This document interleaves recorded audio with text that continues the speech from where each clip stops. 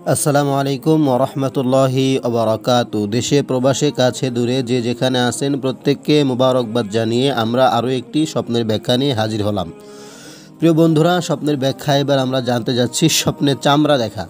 যদি স্বপ্নের চামড়া দেখেন, তাহলে ব্যাখ্যা কী হবে? আমাদের ভিডিও সম্পূর্ণ দেখলেই বিষয়গুলো বুঝতে পারবেন। প্রিয় দর্শক হজরত দানিয়াল আলী হিসালাতাম বলেছেন, মানুষের চামড়া ভোগ বিলাস ও লোকদের মেহমানদারি। হজরত মোহাম্মদ ইবনে সিরিন রহমতুল্লাহ আলহি বলেছেন, মানুষের চামড়া সতর, মাল ও বরকত। নিজের চামড়া উঠতে দেখা, তার গোপন তত্ত্ব প্রকাশ হয়ে যাবে আর মাল নষ্ট হয়ে যাবে। নিজের চামড়া কালো বা নীল হতে দেখা, দুঃখে কষ্টে পতিত হবে। পায়ের চামড়া উজ্জ্বল দেখা, উদ্দেশ্য সফল হবে। হজরত ইব্রাহিম কেরমানি রহমতুল্লাহ আলিহি বলেছেন, সকল প্রকার চতুষ্পদ প্রাণীর চামড়া দেখা মাল।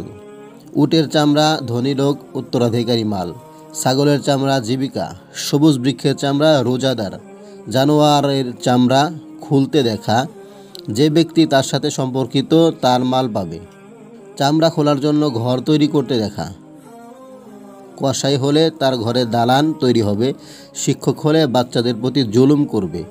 হজরত জাবের মাগরিবি রহমতুল্লাহ আলে বলেছেন, পুরাতন চামড়া খুলতে দেখা, পুরাতন বস্তুসমূহ। সংশোধন করে কাজের যোগ্য করবে। বাদশাহের দূত নিযুক্ত হবে, শাহী সৈন্যের নেতা হবে। অনেক কাজে বাদশাহের বিরোধিতা করবে। প্রিয় দর্শক, স্বপ্নের চামড়া দেখলে কি কি ব্যাখ্যা হতে পারে সবগুলো আমি আপনাদের কাছে জানানোর চেষ্টা করলাম। আশা করি সকলেই বুঝতে পেরেছেন। সকলেই ভালো থাকুন, সুস্থ থাকুন। আসসালামু আলাইকুম ওরহমতুল্লাহি ওবরাকাত